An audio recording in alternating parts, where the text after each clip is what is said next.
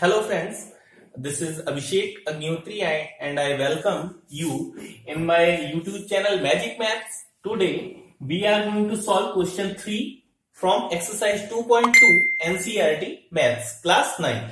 Okay, we have to go through first question. It is verify whether the following are zeros of polynomial or not. First, we have to understand what is zero of polynomial. For that purpose, we have to remind previous question that we solved in previous session.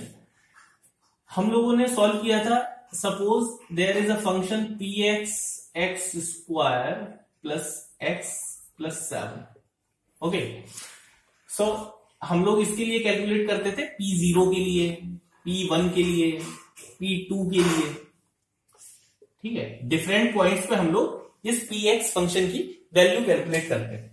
But the situation will come एक जगह पे ऐसा point कोई ना कोई ज़रूर होगा where the value of polynomial becomes zero suppose हम लोगों ने वैल्यू एक्स की रखी है माइनस वन और इसे सॉल्व करने पे फाइनल वैल्यू क्या आ जाती है? ज़ीरो तो ये माइनस वन जो वैल्यू है, वही हमारा क्या होगा? ज़ीरो ऑफ़ पॉलिनोमियल तो ऐसा पॉइंट जो हमारे फाइनल पॉलिनोमियल को क्या कर दे? ज़ीरो कर दे। वो क्या बोला जाता है? हमारा zero of polynomial now we are going to solve question first part and you will be much clear after solving it function is given P X is equal to three X plus one and we have to choose X is equal to minus one upon three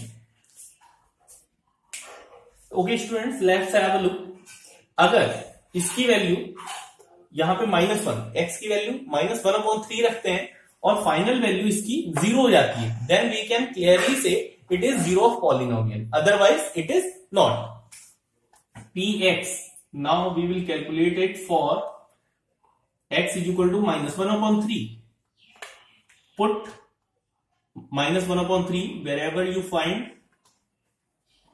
X plus one okay Now open the bracket minus plus minus 3 multiply 1 upon 3 plus 1. 3 से 3 cancel. Final value of this part comes to minus 1 and here is plus 1. Minus 1 plus 1 on calculation become 0. Finally the result of polynomial at value minus 1 upon 3 becomes 0. So x equal to minus 1 upon 3 is 0 of polynomial. 0 of polynomial.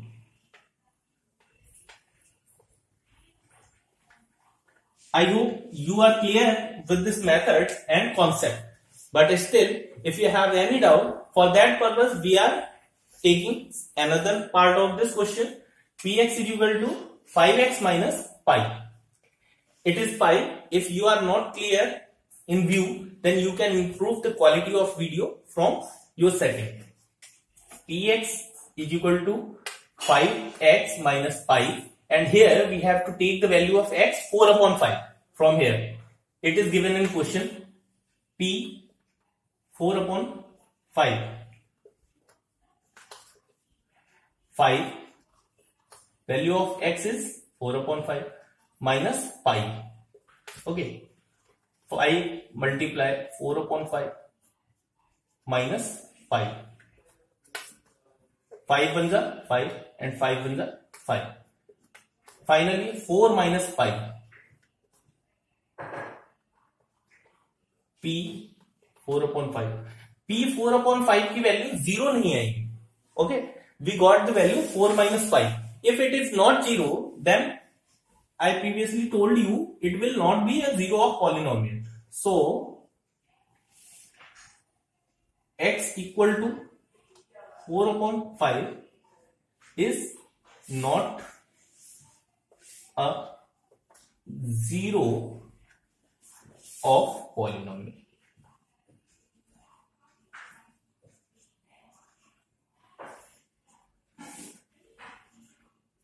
So this is the method of to solve this problem. And you can solve a number of problems with the same method and try to solve remaining part of this question by yourself as an assignment. And if you face any problem in solving those then you can comment in comment box. And in next video we will try to discuss on the board. Thank you